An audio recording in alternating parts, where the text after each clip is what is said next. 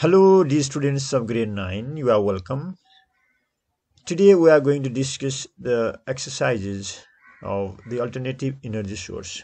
Dear students, uh, I hope you have read this lesson and in this lesson uh, the writer talks about different uh, energy sources and their uses but I will focus on exercises dear students. I, I'm sure you have understood the text if you haven't understood the text uh, please write the comments. I will uh, explain the text in my next video. But today i'll focus on the exercises. Okay students. So first of all a matching. See the matching? Yeah. Okay the first one fleet you know. Fleet means the students a group of something is called fleet group of something. Inflatable. Inflatable means capable of being filled with air. This is called inflatable beach ivy you know. Harness. Harness means to control to control and use the force or strength of. Okay harness. And next one uh, the students next one. So harness means that. And uh, now van okay.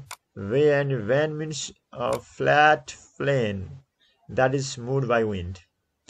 Skyscraper. Skys skyscraper means a very tall building. And fission fission means the act of or process of splitting the nucleus of an atom. And in the same way okay these students uh, okay or let's say and then a bountiful okay bountiful means in large quantities.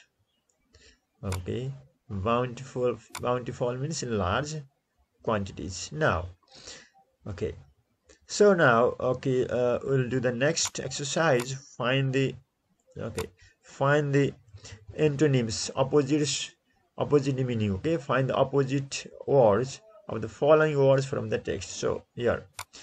So first of all endless means finite. You can find this uh, word in the text. Endless finite. You can uh, check the word finite. It is given in the text. Modern you know it's very easy. The uh, antonym okay opposite word uh, for modern is traditional. Cover. Cover means revealed. Cover means you know uh, hidden and revealed means shown. Fragrant means you know odorless. You can see hydrogen is an odorless gas. Fragrant meaning giving smell. Odorless meaning having no smell. Bound. Autonomous. And uh, inadequate means bountiful. This is opposite word okay? Now okay let's do the next one and that is another matching dear students match the idea numbers uh, in column A to the correct ID in column B. So uh, you know our text has been divided into different you know uh, uh parts like this. So first in idea you can check in the uh, text. Idea first uh, is about solar energy. I will show you. Idea first is solar energy. I will show you. look at this. in the idea first uh, solar energy. It is uh, you can see you can see different ideas here. So dear students uh, you can check yourself. I would like to waste time here. I'll just show you see idea one. Okay see this is about okay 55 to 60 percent of the all incoming solar energy doesn't come. See solar energy no? So it doesn't come make doesn't make it through the earth atmosphere. In a space-based solar power system fleets of satellites groups of satellites okay? With so first idea is about uh, solar energy so we can do in this way dear students. Now uh, let's do other. Okay uh, okay focus okay. And the same way uh, dear students uh, yeah. Mm, idea second is uh, solar energy through body movement okay? In if you uh, look at the text if you read the text idea second is about energy through body movement. Idea third this is wave energy okay if you read it you will find wave energy. Idea third is wave energy. Idea fifth I, sorry idea fourth. Idea fourth is hydrogen energy. And idea fifth is ultra-radius energy.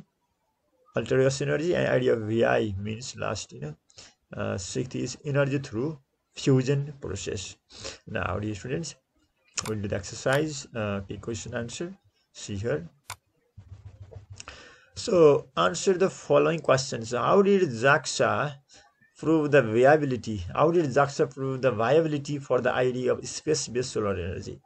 so uh, you can find this answer in the text if you look at it JAXA, JAXA proved the viability for the idea of space-based solar energy by converting 1.8 kilowatt of electricity into microwaves and bringing them wirelessly to 50 meters to the distance of 50 meters.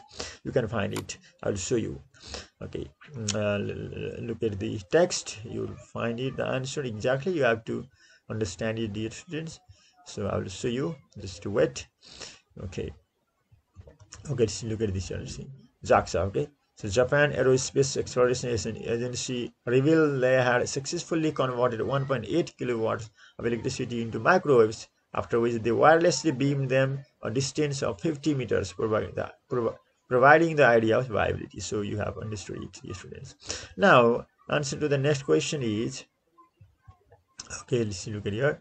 What do you need to generate energy through our body movement? So what do we need? So we need to wear a system like a system. Okay, we need to wear a system. Uh, for example, a knee brace that collects and converts okay, electrons to generate energy through our body movement. So you have to write, we need to wear a system that collects electrons to generate energy through our movement. So here we need to wear a system like a knee brace. So you can say we need to wear uh, a knee brace. We need to wear a knee brace. You can write also. Now see, in what way are idea of third and idea of fifth similar? So if you look at the text, if you read the text, you will find in both uh, idea third and fifth, wind is used to generate energy. In both okay ideas, wind, wind is used to generate energy. Now D, how can hydrogen be used okay as the source of energy?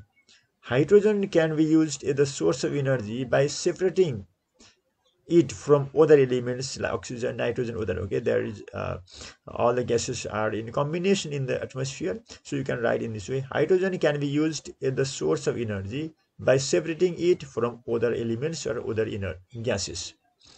Now, E. Why do floating turbines seem more effective than tower-mounted turbines? Why do floating turbines seem more effective than tower mounted turbines? Because the floating turbines produce more energy than tower mounted turbines. You can write floating turbines seem more effective than tower mounted turbines because the floating turbines produce more energy than tower mounted turbines. So you can write in this way, dear students. Okay, next is F. Why is the fusion process environmental friendly? fusion process because uh, fusion process emits okay, produces no pollutants or greenhouse gases and has no threat of nuclear meltdown. So fusion process is environmentally friendly. You can write the answer uh, in long. The fusion process is environmentally friendly because it emits no pollutants or greenhouse gases and has no threat of nuclear meltdown. Now last uh, question answer to last question. What does ITER stand for? ITER stands for international thermonuclear experimental reactor. Dear students you can write the answer in this way. So this is listening. And dear students i will uh, come up with the uh, uh, solution to other answers next time. Okay dear students uh, let's do this uh, grammar second Fill in the gaps with the suitable relative pronouns. Dear student, you know the relative pronouns who, which, where. Okay. So now, uh, first of all, if the uh, is, that the sport, now you have to write here where. Okay. Is that the sport? Now you should write where. Uh, here write where. And the photographer, photograph. You know, after photograph, you have to write which. This is thing, object you know? Uh, with place we have to use where with things we have to use which or that with people we have to use who okay? Okay now see here who and whom. And third are the students uh, here uh, whom you are talking about okay? Are the, the students? Are okay here write whom okay? Uh, sometimes we can write who as well. So last week uh last week next one d. Last week i went uh, to visit the town.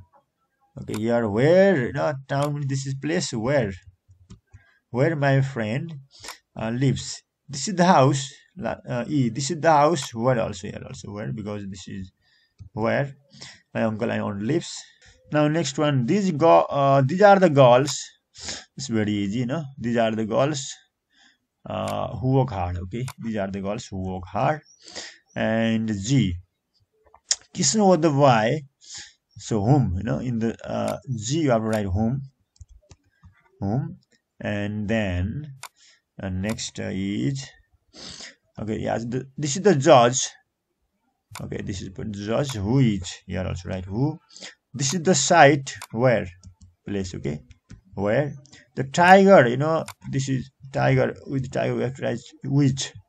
The tree next one uh, next one the tree uh, which you cut down which or that you can write which or that